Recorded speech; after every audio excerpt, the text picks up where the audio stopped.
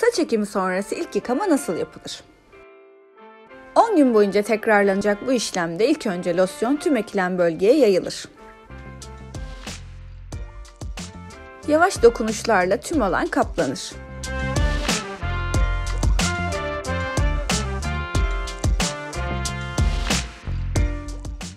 Ardından 10 dakika beklenir.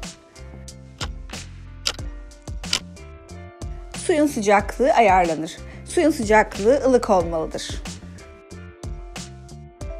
İlk önce losyon temizlenir.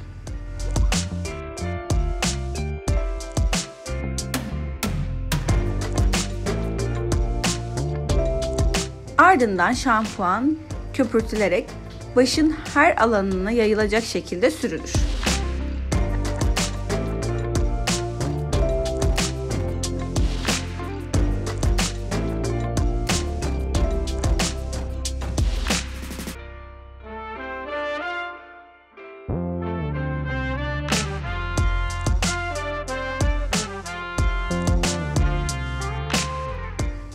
Durulama işlemi yavaş ve dikkat edilerek yapılmalıdır. Kurulama işlemi kesinlikle havluyla yapılmamalıdır.